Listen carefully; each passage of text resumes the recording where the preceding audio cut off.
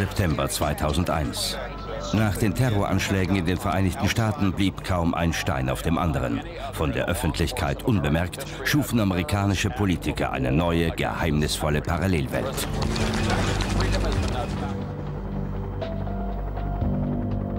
Präsident Bush sagte uns am Abend dieses 11. September im Weißen Haus, ihr habt alles, was ihr braucht. Und das stimmte. Denn als wir im Kongress ankamen, meinten sie nur, sagte uns, was ihr braucht. Es war ein Blankoscheck.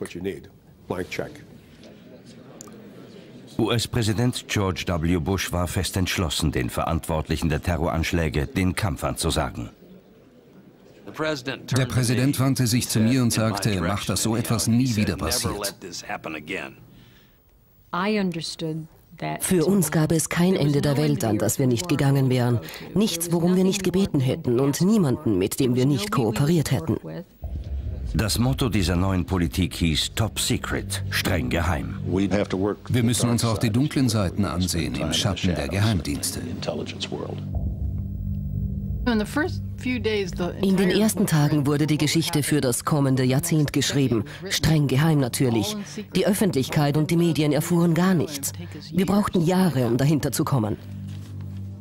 Zehn Jahre lang berichtete Pulitzer-Preisträgerin Dana Priest über verdeckte Militär- und Geheimdienstoperationen.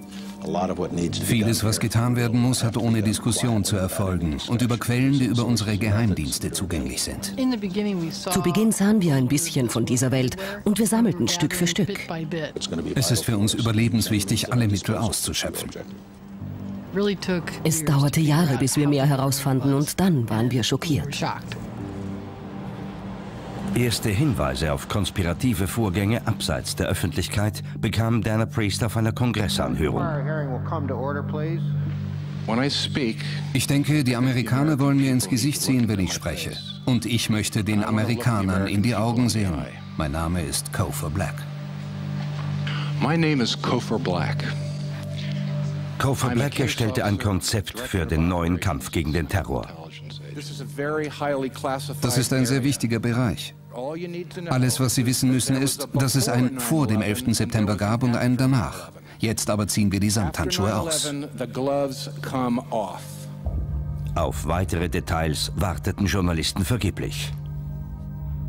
Sie wollten keine Information nach außen dringen lassen. Ich denke, sie wollten alles geheim halten, weil sie Dinge taten, die die Amerikaner nicht gut geheißen hätten. Und sie wollten das so lange wie möglich praktizieren, ohne dass jemand dahinter kam. Der Plan für den geheimen Krieg nahm hier in der CIA unmittelbar nach den Anschlägen seinen Ausgang.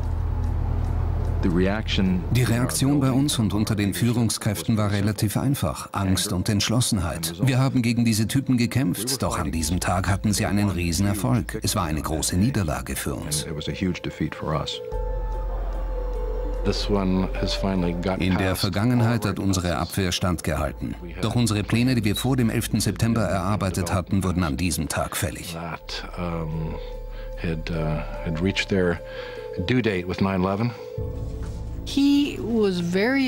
Er war sehr aggressiv. Er sah seinem Handeln keine Grenzen gesetzt. Einmal sprach er davon, Bin Ladens Kopf auf einem Teller zu bringen, mit Fliegen in den Augen.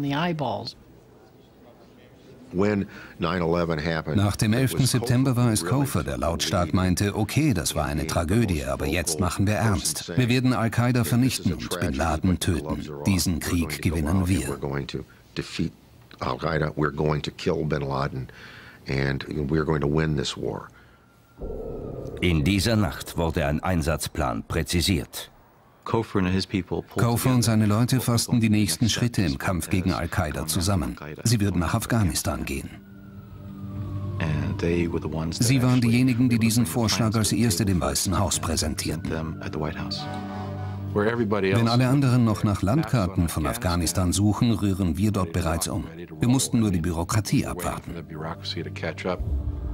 Kofer Black unterbreitete seinen Vorschlag persönlich Präsident Bush. Die CIA hatte ihre Hausaufgaben in Bezug auf Al-Qaida bereits besser erledigt als alle anderen Abteilungen der US-Regierung. Sie legten nun einen Zeitplan vor, inwieweit die CIA die Vorhut der US-Regierung im Kampf gegen Al-Qaida sein könnte.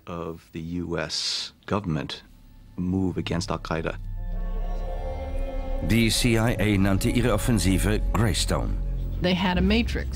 In diesem Vorschlag, den sie dem Weißen Haus unterbreiteten, stand, in diese Länder müssen wir gehen, um Bin Laden und sein Terrornetzwerk zu zerstören, um ihn zu fassen und zu töten, ihn und seine Unterstützer. Verteidigungsminister Donald Rumsfeld fand den geplanten Einsatz alter CIA-Methoden höchst unerfreulich. Die CIA war dem Militär um Schrittlängen voraus. Das ärgerte Rumsfeld gewaltig. Zu diesem Zeitpunkt jedoch konnten Rumsfelds Generäle keine eigenen Ideen anbieten. Wir hatten keinen Plan. Um ehrlich zu sein, wir hatten Einsatzpläne für andere Regionen, aber keinen für Afghanistan. Rumsfeld tobte, konnte es jedoch nicht verhindern. Binnen einer Woche gab Präsident Bush der CIA die Vollmacht für Operation Greystone. Es war ein sehr umfangreicher Bescheid und sehr allgemein formuliert. Sie sollten losziehen und die bösen Männer fassen, sie stören, verhören, töten. Die CIA erhielt ein übergreifendes Mandat.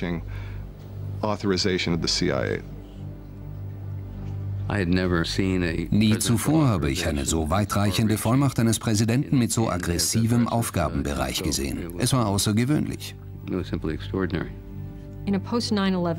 Nach dem 11. September sollten wir nicht zimperlich sein. Wir sollten arbeiten und tun, was nötig war, egal wie schwierig oder lästig es war. Wir sollten an alle Informationen gelangen, die wir brauchten, um das amerikanische Volk zu beschützen. Mit Operation Greystone waren die Grundregeln für einen neuen Krieg beschlossen. Das setzte das größte Geheimoperationsprogramm seit dem Höhepunkt des Kalten Krieges in Bewegung. Und viele Leute behaupten, dass es dieses sogar übertrifft. In einer Nanosekunde verließen wir den Boden, auf dem wir festgesessen hatten, wie ein Kettenhund. Früher konnten wir bellen, aber nicht handeln. Nun waren wir eine neue Behörde mit neuen Einsatzregeln und neuen Mitteln. Das war ein gänzlich neues Spiel.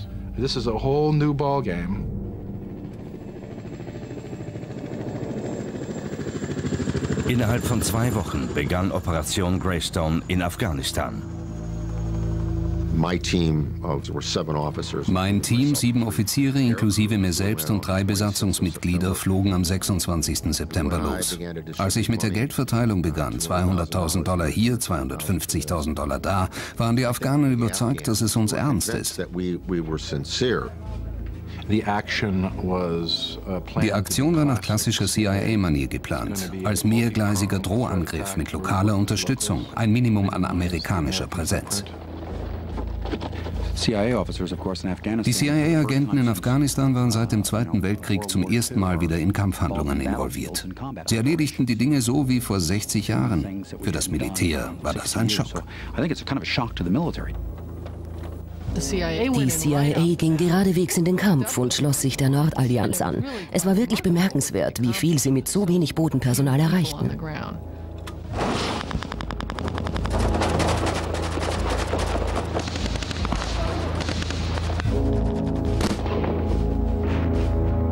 Es dauerte nicht lang, bis die Taliban fielen. Die CIA feierte ihren ersten Sieg. Wir wollten, dass die Überlebenden des 11. September wissen, dass das für uns eine glorreiche Stunde ist. Wir wollten die Taliban in den Arsch treten und genau das haben wir getan.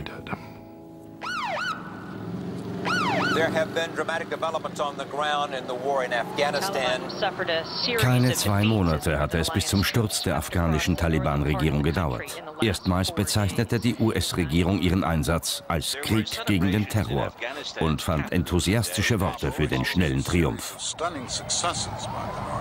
Mr. Speaker, the President of the United States. Terroristen, die einst Afghanistan besetzten, besetzen jetzt Zellen in Guantanamo.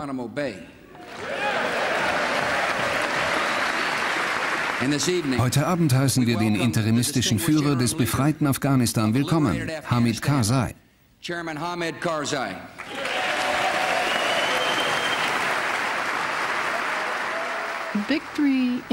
Der Sieg in Afghanistan kam so schnell. Doch der Ball rollte weiter, im Geheimen. Und im Großen und Ganzen tut er das streng geheim immer noch. Nicht nur in Afghanistan, in mehr als einem Dutzend Ländern kämpften Agenten einen globalen geheimen Krieg.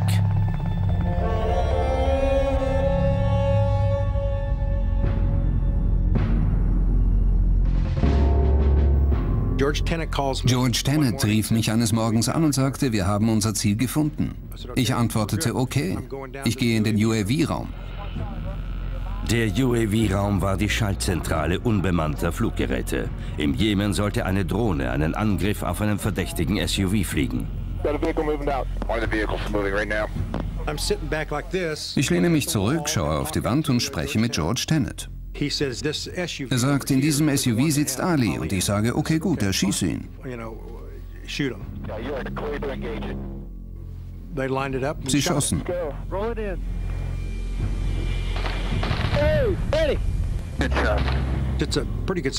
Es war eine ziemlich gewaltige Explosion. In einem SUV hat man wenig Überlebenschancen. Wir wussten, dass alle Insassen tot waren. An attack in Yemen this week killed a top Al Qaeda leader. The U.S. government called the attack highly successful. Die CIA griff einen bewaffneten Feind in einem Auto mitten in der Wüste an. Mit einer Waffe, von der wir nicht wussten, dass sie sie überhaupt besaß. Und in einer Art und Weise, die wir nie zuvor gesehen hatten. Es ist nur Krieg. Es ist nichts anderes, als wenn man in einem Geschäft ein paar Eier kauft. Buy some eggs. I mean, it's something you gotta do. Man muss es tun. Das waren die Männer, die mehr als 3000 Menschen in den Twin Towers und fast 200 Personen im Pentagon ermordet hatten. Es war leicht.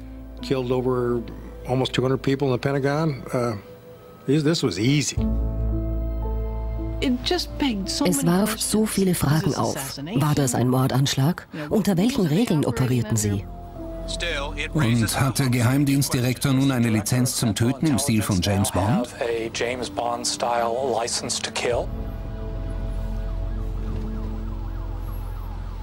Tausende Menschen wurden in diesen Kriegstagen in Afghanistan gefangen genommen. Einige der meistgesuchten Terroristen verschwanden jedoch. Ich weiß von Militärs, die am Boden operierten, dass nicht alle in das militärische Strafprogramm überführt wurden. Wohin kamen sie und was geschah mit ihnen? So, where were they going? And what were they doing with them? Um an gewünschte Informationen zu gelangen, waren die USA nicht zimperlich. Jemand benutzte den Begriff Stress- und Nötigungstechniken. Das klingt nicht nach militärischen Regeln. Stress and duress techniques. That doesn't sound like the military rules. Die US-Administration bezeichnete die neuen Methoden lieber als verbesserte Verhörtechniken.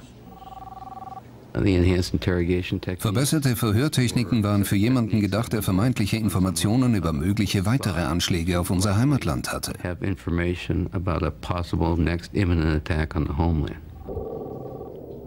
Sie konnten vieles machen, was als Folter bezeichnet wird. Waterboarding zum Beispiel. Egal wie man es definiert, es bleibt Folter. Das Justizministerium billigte sieben verbesserte Verhörtechniken und eine davon war Waterboarding. Khalid Sheikh Mohammed, der vermutliche Chefplaner der Anschläge vom 11. September, wurde 183 Mal dieser Verhörmethode unterzogen. Prominente Häftlinge wie er blieben oft jahrelang verschollen. In einem undurchdringlichen Netz geheimer CIA-Gefängnisse, bekannt als Schwarze Städten. Während der Recherche nach diesen schwarzen Städten fand ich mehr als zwei Dutzend Gefängnisse auf der ganzen Welt verstreut, geführt, bezahlt und organisiert von der CIA, aber in Zusammenarbeit mit anderen Ländern. John Rizzo, der Leiter der CIA-Rechtsabteilung, half bei der Genehmigung der Gefängnisse. Ein Gefängnissystem zu entwerfen war in meiner 25-jährigen Karriere sicher einzigartig. Es war wichtig, diese Personen in absoluter Einzelhaft zu halten, mit Zugang zu so wenigen Menschen wie möglich.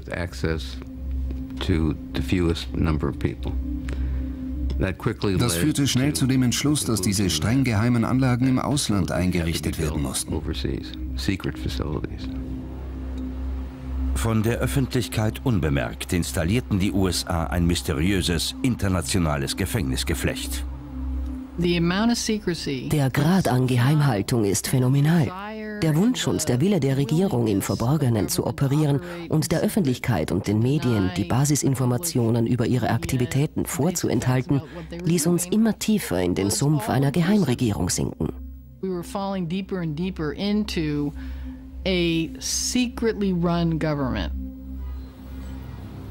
Schnell entwickelten die konspirativen Aktivitäten eine Eigendynamik. 2002 lancierte Verteidigungsminister Donald Rumsfeld im Pentagon seine eigene Geheimkampagne. Die CIA hatte weiterhin die Nase vorn. Das ärgerte Rumsfeld immens. Er schrieb Memos wie, das kann nicht so bleiben, wir müssen eigene Kapazitäten gründen.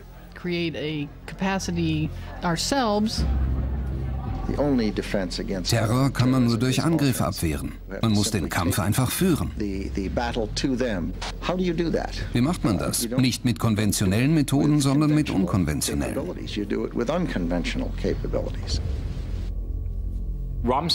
Rumsfeld war so etwas wie ein Empire-Erbauer. In seinem Einflussbereich häufte er so viel Macht wie möglich an. Diskret baute Rumsfeld eine geheime Pentagon-Einheit aus, den Joint Special Operations Command, JSOC. Sie verfügten über ein Potenzial, das im Pentagon nie zuvor existiert hatte und was bis dahin dem Pentagon auch als nicht angemessen gegolten hatte. Rumsfeld nutzte die undurchdringlichen Tiefen der Pentagon-Bürokratie und stattete den JSOC mit Macht und Geld aus. Einer der Gründe, warum Minister Rumsfeld so begeistert von diesen Sondereinsatzkräften war, war deren Bereitschaft, jederzeit zu tun, was von ihnen verlangt wurde, egal wo.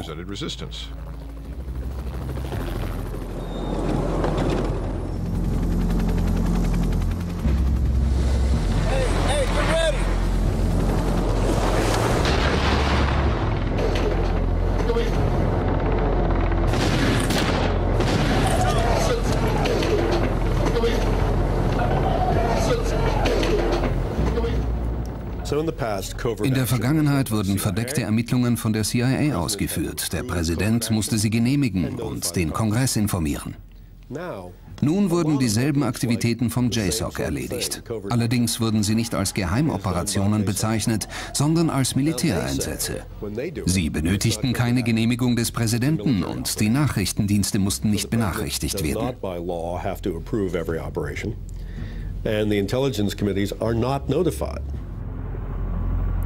Schon bald machte ein neues Gerücht die Runde. Rumsfeld benötige den JSOC für einen Krieg gegen den Irak. Man konnte personelle Veränderungen bei den US-Militäreinheiten in Afghanistan beobachten. Die Green Berets, das fünfte Sondereinsatzkommando, wurde herausgezogen, nachgerüstet und für den Irak vorbereitet. Und es war klar, dass die Wahl auf genau jene Soldaten fiel, die für ganz spezielle Einsätze ausgebildet waren.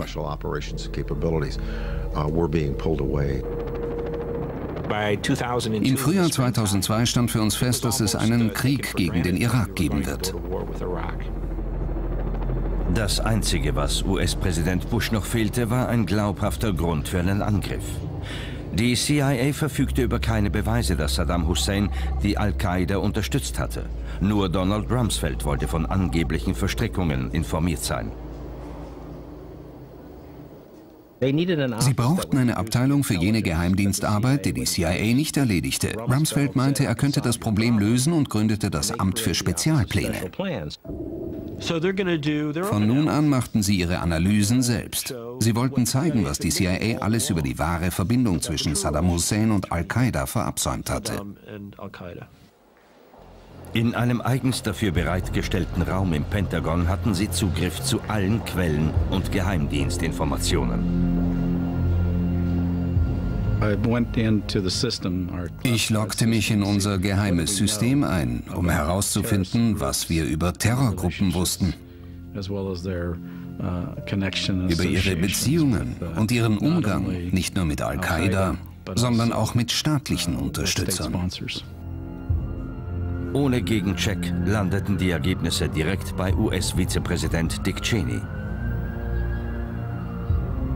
Und dieses Material wurde dann in einer Art Weißbuchmanier verwendet, Journalisten zugespielt oder benutzt, um Verbindungen zwischen Saddam Hussein und Al-Qaida zu schaffen. Und nicht nur den Amerikanern, sondern der ganzen Welt präsentiert. Neue Informationen sind ans Tageslicht gekommen und wir haben uns diese Beziehung zwischen dem Irak und Al-Qaida eine Zeit lang angesehen. In diesem Zusammenhang wurde ein neuer Verdacht formuliert. Der Irak verfüge über Massenvernichtungswaffen. Wir wollen keinen neuen Atompilz. Saddam Hussein noch ein paar Monate oder Jahre im Besitz von Massenvernichtungswaffen zu lassen, ist keine Option. Nicht nach dem 11. September. Rapid series of 40 explosions lit up Baghdad in the early morning hours. Military officials have been using the term shock and awe to describe the assault on Iraq. Im Frühjahr 2003 griffen die USA den Irak an. Geschickt und schnell hatten Rumsfelds JSOC-Teams den Weg in den Irak geebnet. Der Krieg schien anfangs besser zu funktionieren als die althergebrachten CIA-Methoden.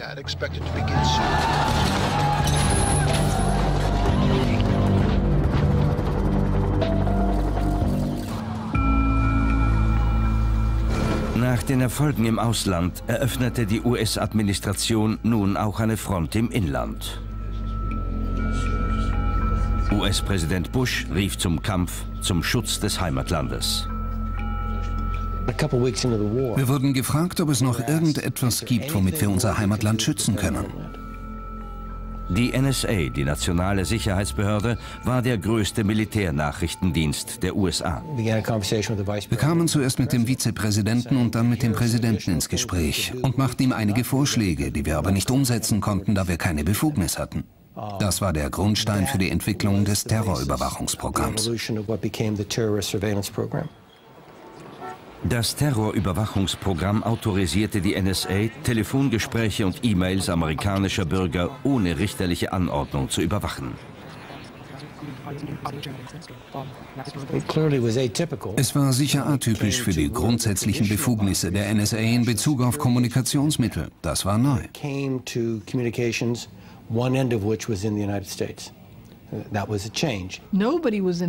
Niemand war in der Stimmung zu sagen, Moment einmal, verstößt das gegen die Privatsphäre? In der Frage Privatsphäre oder ein weiterer 11. September war die Antwort vollkommen eindeutig. In ihrem Hauptquartier in Maryland konzentrierte sich die nationale Sicherheitsbehörde nun auf die Verhinderung des nächsten Terrorangriffs. Ich informierte die NSA-Mitarbeiter über unsere neue Mission. Es war klar, dass sie der Terrorismusbekämpfung diente. Ich sagte, wir gehen nun in die Offensive und wir werden ein integraler Bestandteil dieser Offensive. Eine globale elektronische Ringfahndung, die alle amerikanischen Kommunikationsnetzwerke mit einschloss, wurde entwickelt. Mit 1,7 Milliarden Aufzeichnungen pro Tag. Die NSA ist ein riesiger Staubsauger, der die ganze Welt umspannt. Er saugt Informationen aus Computernetzwerken, Radios, Telefongesprächen weltweit. So viel Information kann kein Mensch täglich überprüfen.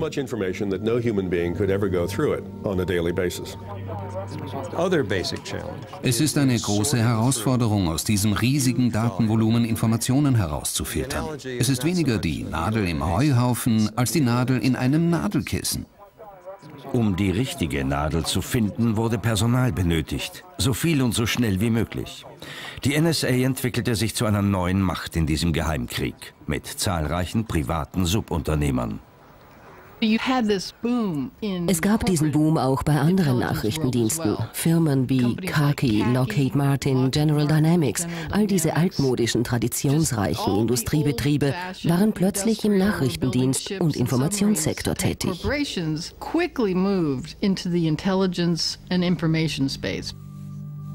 Unter Michael Hayden floss ein Milliarden-Dollar-Budget der Nationalen Sicherheitsbehörde an mehr als 480 Privatunternehmer. Ich machte es bei der NSA, George bei der CIA. Wir alle machten es. Wir gingen hinaus und holten uns das Personal. Auf diese Weise kamen wir unendlich viel schneller weiter als mit dem regierungsinternen Personalsystem.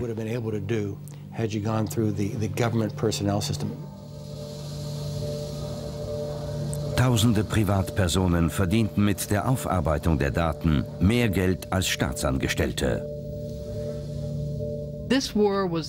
In diesem Krieg waren Informationen wichtiger als Panzer und Kampfflugzeuge.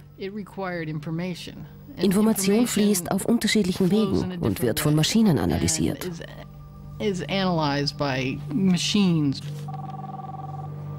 Wie viel Geld die NSA in den Jahren nach dem 11. September ausgab, ist eines der bestgehüteten Geheimnisse der US-Regierung. Das Gesamtbudget der Behörde bleibt ebenso ein Staatsgeheimnis wie ihr exakter Aufgabenbereich.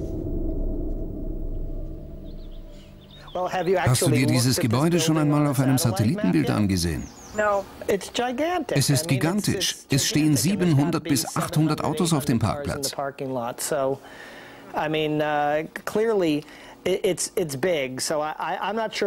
Ich bin nicht sicher, was es ist, aber es ist eine staatliche Organisation, die nirgendwo aufscheint. Sie residiert angeblich in einer Pizzeria. Das sieht aus wie eine Scheinadresse. Ich muss persönlich hingehen und nachsehen oder du gehst. Okay. Dana Priest und William Arkin identifizierten Gebäude für Gebäude und Firma für Firma. In dieser Welt, die sie fortan Amerika streng geheim nannten. Das Verteidigungsstrategieauswertungsamt, die Verteidigungsprogrammunterstützungsorganisation, die asymmetrische Kriegsgruppe, Projekt 7116, CIA, FBI, NSA und alle anderen Behörden. Ich brauchte mehr als ein Jahr, um einen Katalog mit allen staatlichen Instanzen und weltweiten Kooperationsbetrieben zu erstellen.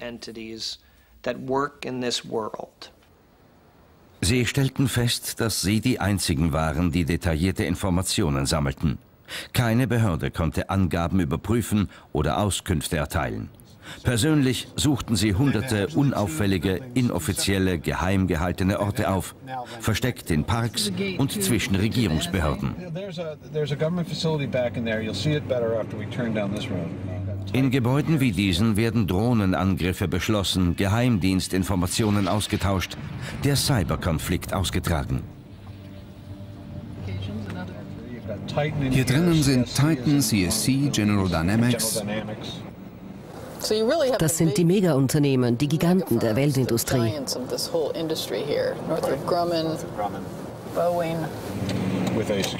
Der Wachdienst ist hier, wo die Autos auschecken. Schau weg. Vielleicht solltest du die Kamera wegstecken. Man weiß nie, wer dich beobachtet.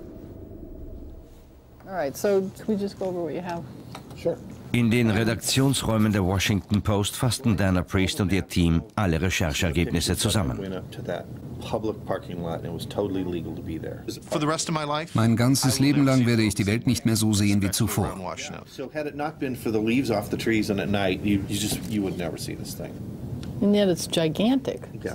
Diese Gebäude sind vielleicht nur vier Stockwerke hoch, aber sie haben zehn unterirdische Geschosse.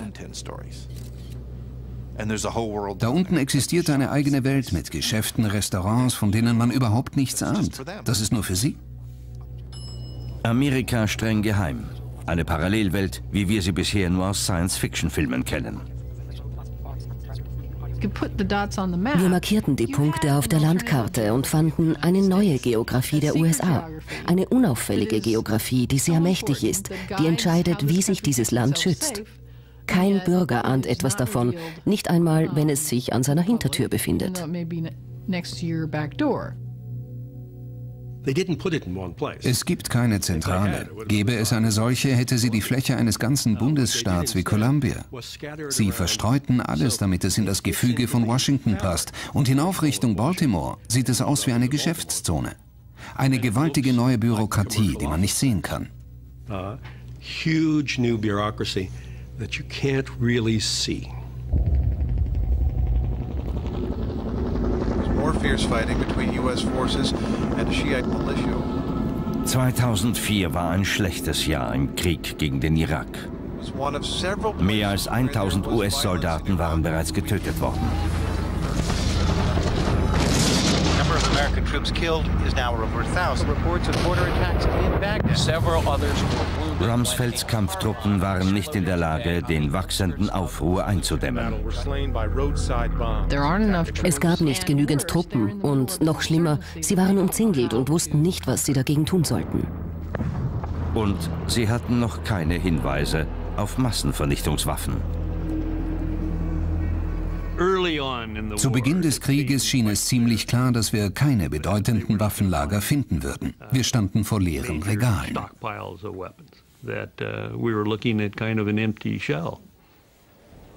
David Kay hatte den Auftrag, Massenvernichtungswaffen ausfindig zu machen.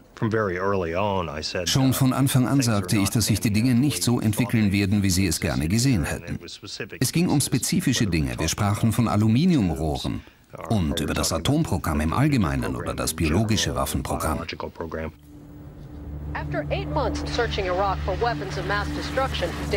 Acht Monate lang suchte David Kay vergeblich. Dann kam er zu einem simplen Schluss. Die Politik hatte das Waffenarsenal des Irak überschätzt. Es war einer der verhängnisvollsten Geheimdienstfehler der jüngeren US-Geschichte. Die Glaubwürdigkeit der USA war stark angekratzt. Ich glaube, die Nachrichtendienste haben verstanden. Wenn das amerikanische Volk die Botschaft, die ich zu überbringen hatte, verstanden hat, dann musste es zu gravierenden Veränderungen innerhalb der amerikanischen Geheimdienstarbeit kommen. Denn das war wirklich unverzeihlich. Because this was just inexcusable. CIA-Direktor George Tenet wurde für die Blamage verantwortlich gemacht. Die Forderung wurde laut, der CIA die Aufsicht über die nationalen Nachrichtendienste zu entziehen. Oder hatte sie unter Druck jene Antworten geliefert, die der US-Administration als Rechtfertigung für den Krieg dienen konnten? Die Untersuchungskommission für den 11. September schlug einen nationalen Nachrichtendienstdirektor vor, der sicherstellen sollte, dass die verschiedenen Agenturen ihre Informationen teilten, dass sich ihre Tätigkeiten nicht überschnitten, dass sie ordentlich zusammenarbeiteten und dass ein leistungsfähiges System daraus wurde.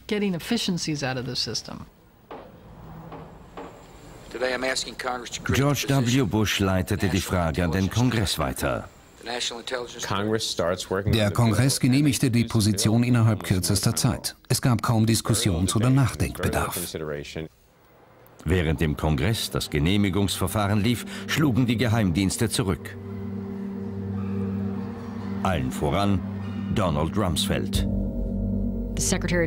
Der Verteidigungsminister war nicht wirklich an einem Machtverlust interessiert. Er wollte die direkte Hoheit über die Nachrichtendienste behalten. Er setzte sich massiv dafür ein, seine Machtbefugnis nicht zu verlieren.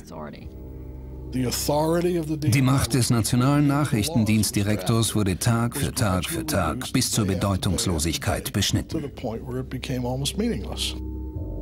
Der erste Kandidat für den neu geschaffenen Posten war John Negroponte. Ich bekam einen Anruf von Stabschef Andrew Card, der mich fragte, ob ich der Erste sein wollte. Ich hatte keine Ahnung, wie der Kongress diese Position definiert hatte, nichts dergleichen.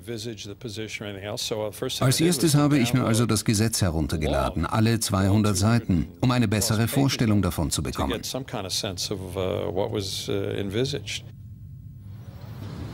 Um die 80 Milliarden Dollar schwere Maschinerie zu führen, wurden John Negroponte lediglich ein paar Mitarbeiter und winzige Räumlichkeiten in einem alten Bürogebäude bereitgestellt. Das eigentliche Büro existierte nicht. Es gab nicht einmal jemanden, der das Telefon abgehoben hätte. Ich erinnere mich, wie der Verteidigungsminister in Begleitung eines Staatssekretärs kichernd einen Blick hereinwarf. Es war komisch, wenn sich das kleine Team um den kleinen Tisch versammelte. Das war unser nationales Sicherheitsteam. Wir tapezierten die Wände mit Einpackpapier und versuchten eine Organisationsstruktur zu erarbeiten und dann versuchten wir sie umzusetzen. Schon bald realisierte John Negroponte, dass seine Möglichkeiten äußerst begrenzt waren.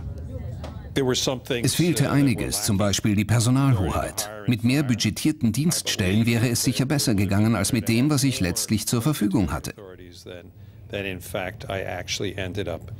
Wenn man versucht, Behörden unter einer übergeordneten Organisation zusammenzufassen, benötigt man die Kontrolle über die Organisationsstruktur und auch die Mittel zu deren Umsetzung.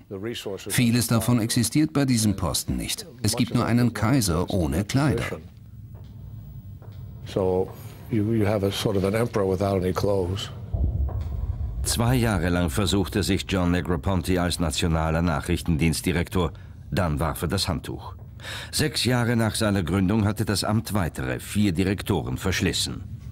Wir haben der Behörde Verantwortung übertragen und große Erwartungen in sie gesetzt. Meiner Ansicht nach haben wir ihr nicht genügend Macht über die Nachrichtendienste übertragen, um an die Vorteile zu gelangen, die wir uns erhofft hatten. Obwohl die neue Regierungsstelle weder Macht noch einen realisierbaren Aufgabenbereich hatte, unterschied sie wenig von anderen geheimen US-Behörden. Sie wuchs. Im alten Bürogebäude begannen elf Personen, doch es war zu wenig Platz, also übersiedelten sie in eine der teuersten Gegenden von Washington. Dort hatten sie gigantische 45.000 Quadratmeter und fünf Einkaufszentren übereinander. Und wenn man sich bei den Nachrichtendiensten umhört, wissen die meisten nach wie vor nicht, was sie eigentlich machen.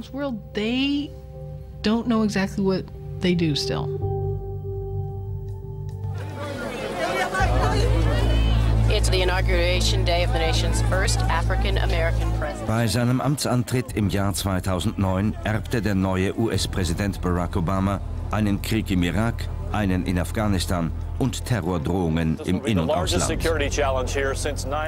Seine Angelobung sorgte für die aufwendigsten Sicherheitsvorkehrungen, die die USA je erlebt hatten.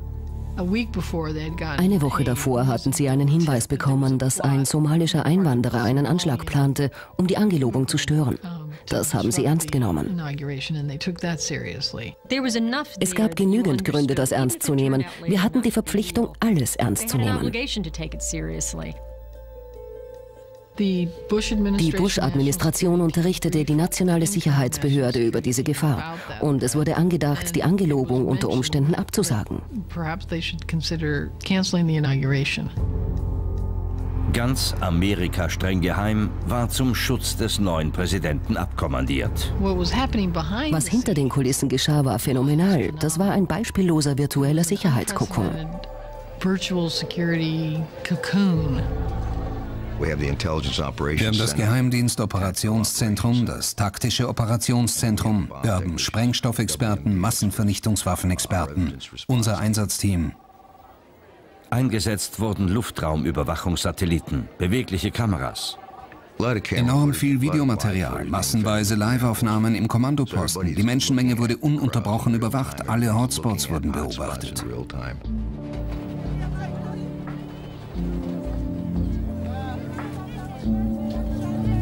Entlang des Ostufers waren Autokennzeichenscanner in Alarmbereitschaft. Scharfschützen waren überall verstreut. Die beste Technologie war im Einsatz. Überall in der Stadt registrierten Sensoren jeden Luftzug, analysierten die Inhaltsstoffe und die gesamte Information wurde in Echtzeit zu den Einsatzzentren übertragen. Alle waren im Dienst. Es war wie ein Crescendo. Die Angst stieg unermesslich. Die Telefonanrufe wurden immer mehr und mehr.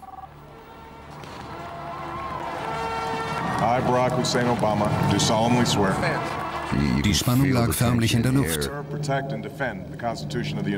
Nach der Angelobung gab es eine kollektive Erleichterung.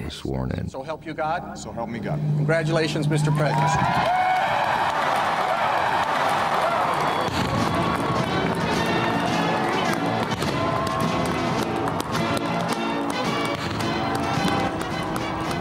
Die Angst vor einem Anschlag stellte sich im Nachhinein als unbegründet heraus. Doch als der neue Präsident sein Amt antrat, gab es viele offene Fragen über die Zukunft von Amerika streng geheim. Während des Wahlkampfes hatte Barack Obama eine Regulierung der Geheimdienste versprochen. Barack Obama versprach ein neues Zeitalter der Transparenz. Meine Regierung wird alle Gefahren prüfen, welchen wir zu begegnen haben. Zu oft hat die Administration im Hinblick auf die Sicherheit unseres Heimatlandes Geld ausgegeben und harte Entscheidungen vermieden. Barack Obama las sich in die Terrorabwehrprogramme ein und forderte tägliche Gefahrenberichte. Er fängt mit den Geheimdienstberichten an. Er sieht die Substanz dahinter, die Arbeit innerhalb der Regierung. Er bekommt Berichte über Einzelpersonen. Dieser bekannte Terrorist könnte sich von hier nach dort bewegen. Dieser bekannte Terrorist wurde abgehört, als er über geplante Anschläge sprach. All das zusammen, inklusive der Sicherheitsbedenken in Bezug auf seine Angelobung, beeinflusst seine Sichtweise und die Art, wie er seine Verantwortung wahrnimmt.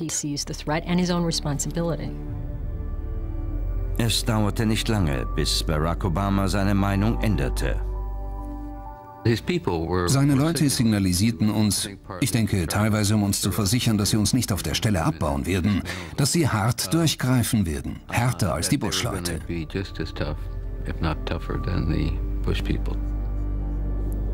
Niemand in der Obama-Administration sprach über das geheime Amerika.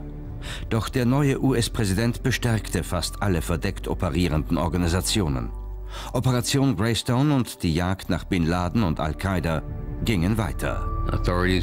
Alles, was wir nach dem 11. September unter Präsident Bush begonnen hatten, wurde fortgesetzt. Alles wurde von Obama überprüft und unterstützt.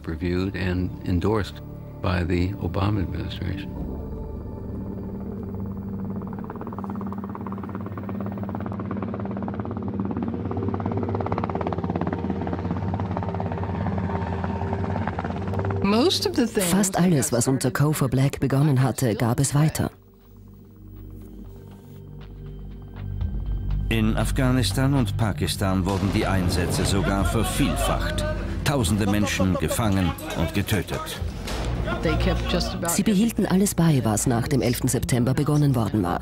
Sie übernahmen den Drohnenkrieg der vorigen Administration. Sie erhöhten die Anzahl der tödlichen Drohnenangriffe in Afghanistan und Pakistan. Lethal drone attacks in Afghanistan and Pakistan, manyfold.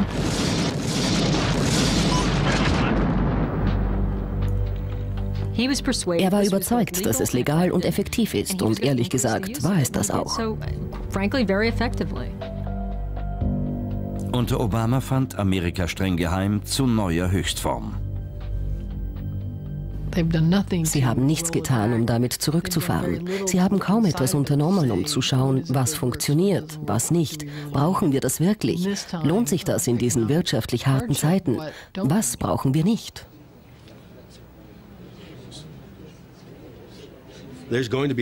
Eines Tages gibt es einen Terroranschlag. Und wenn man davor das Antiterrorbudget gekürzt hat, ist die andere Partei am Zug. Sie werden dich für den Terroranschlag verantwortlich machen, weil du das Budget gekürzt hast. Das ist sehr, sehr riskant. And so it's a very, very risky thing to do. In Obamas erstem Amtsjahr begann die bereits ohnehin aufgeblähte Abteilung für Staatssicherheit mit dem Bau eines 3,4 Milliarden Dollar teuren Hauptquartiers. Es sollte einer der monströsesten Regierungskomplexe Washingtons werden.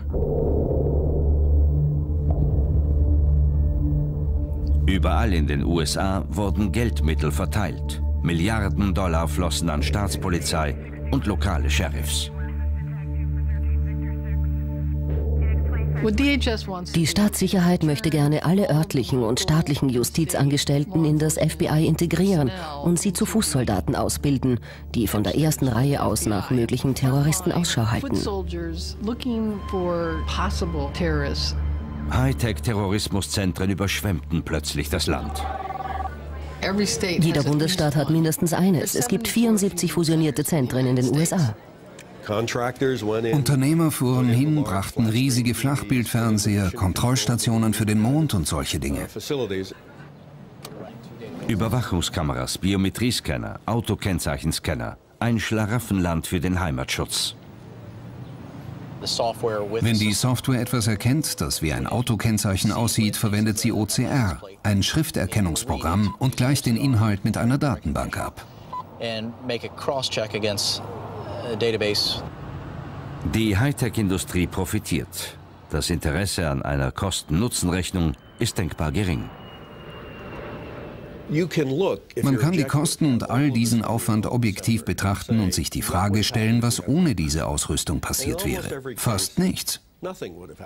Es stimmt zwar, dass es keinen weiteren Anschlag gegeben hat, aber es stimmt nicht, dass nur diese Ausrüstung und das Personal einen solchen verhindert haben. Ein Beispiel. Zu Weihnachten 2009 bestieg ein junger Nigerianer ein Flugzeug von Amsterdam nach Detroit. Die Bombe, die er in seiner Unterwäsche trug, hatte er unbemerkt durch alle Sicherheitschecks geschleust.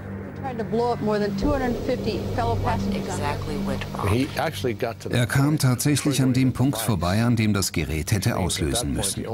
Dort hätte man ihn stoppen müssen, doch es war ein technischer Defekt oder vielleicht menschliches Versagen. Umar Farouk Abdul Muttalab war kein unbeschriebenes Blatt. Als Kind war er zum Training im Jemen.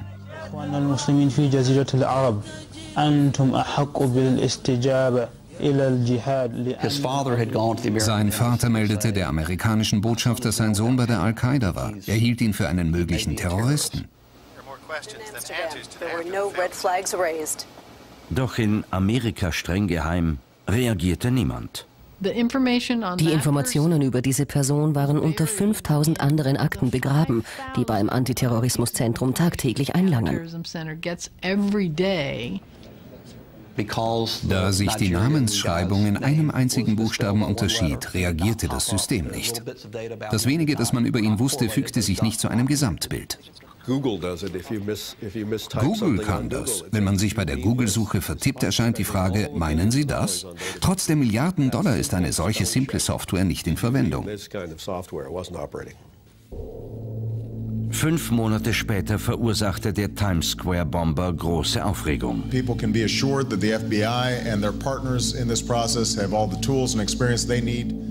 der Times Square-Bomber war ein abscheulicher Einsatz. Etliche Straßenhändler meldeten der Polizei, dass es ein Problem mit einem Auto gibt. In beiden Fällen waren es nicht die Geheimdienste, sondern private Bürger. Im Flugzeug überwältigte ein privater Passagier den Attentäter. Am Times Square war es ein Verkäufer, der die Polizei informierte. Wir haben Glück, dass unsere Bürger so aufmerksam sind. So we were lucky and because we have an alert citizenry. This is an NBC News special report. The president will address the country to announce a major development, we are told by senior government officials. Im Frühjahr 2011 wurde Barack Obama in den Keller des Weißen Hauses gerufen.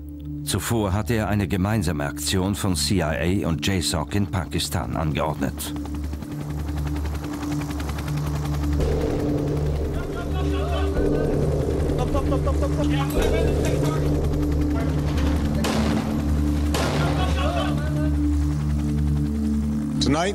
Heute Abend kann ich dem amerikanischen Volk und der Welt berichten, dass die Vereinigten Staaten Osama bin Laden, den Chef von Al-Qaida, getötet haben. Fast ein Jahrzehnt nach seiner Gründung und unter einem US-Präsidenten, der Transparenz und Kontrolle versprochen hatte, konnte das konspirative Amerika wieder einen Erfolg vermelden. Wir alle sind froh, dass Bin Laden letztlich erwischt wurde, aber beteiligt waren nur eine Handvoll Leute.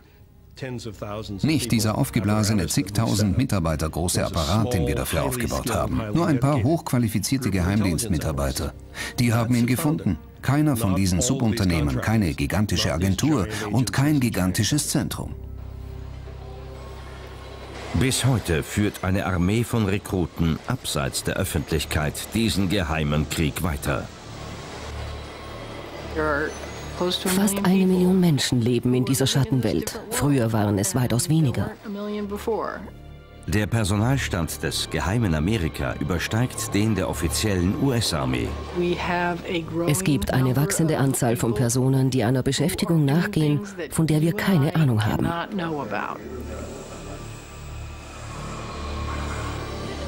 Die Welt wird größer hinter dieser schwarzen Wand.